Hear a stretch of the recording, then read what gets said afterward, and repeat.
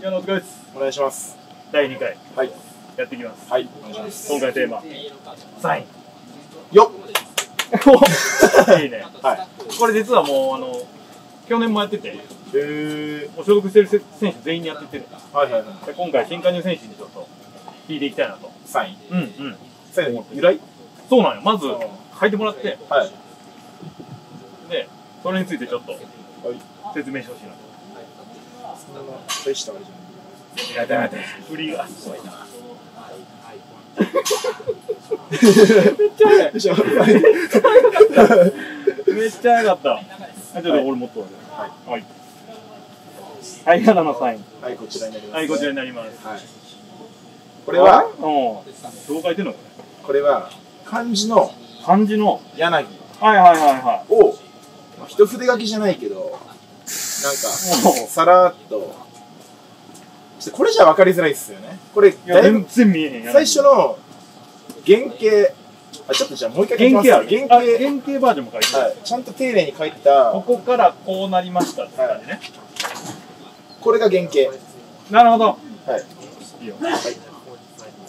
これがね。はい。一筆で柳を書いたときに、まあ、ここが、この、木片が、うんうんうん。こうやって、ちょっと伸びてね。はい。え、ここがすっごいわかる、ここ。でしょ？うん。これを、最初は多分、丁寧に書いてたんですけど、はいはいはいはだんだん崩れていってい。、うん。でで、それが、これが、こうな、こうなりました。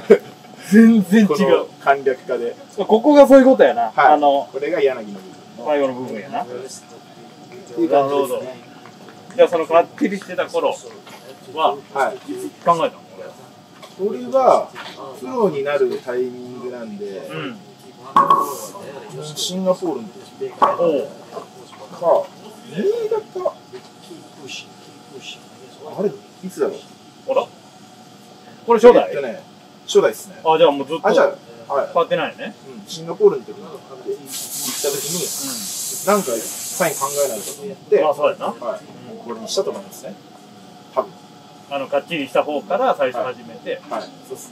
シンガポールの時には、かっちり書いてます。あ、そうだね。でも逆にシンガポールで漢字ガンそうですね。あえて、感じでこう思ったと思いますね。ああ、確かに。それも一つやな。で、新潟に行った時に、結構やっぱり日本に来るとサイン書くこともちょっと増えて、なんか一回一回そんなしっかりして結構手間がなあったっていうのもあって、こうなったと。まあまあ、それ、はいそれがサインだからね。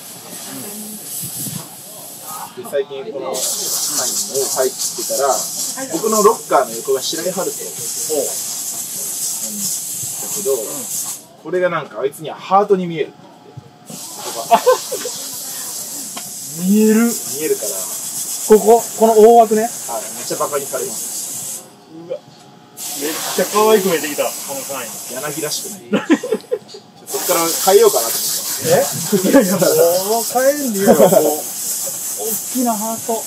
で、ちょっとラブなね愛が詰まってて。多分皆さんそうにしか見えんようなことそうですね。ね決してハートじゃなくて柳。はい、それ言われたからちょっとビクビクしちゃった。ちょっと恥ずかしい。で、書くたびに、あれ、俺ハート書いてモテる。はい。ちょっとね、恥ずかしいんだよな。あートになんかついとるみたいな感じやったまあ、いいよ。まあ、まあまあまあまあ、ちょっと気に入ってるんで。はい、ギャップがいいやん。そうですね。柳の笑顔が可愛いんですかね。サインも可愛いって。めっちゃ笑ってる。めっちゃアピールする。これ、これぐらいでも。はい、お願いします。ありがとう。はい、ありがとうございました。お疲れです。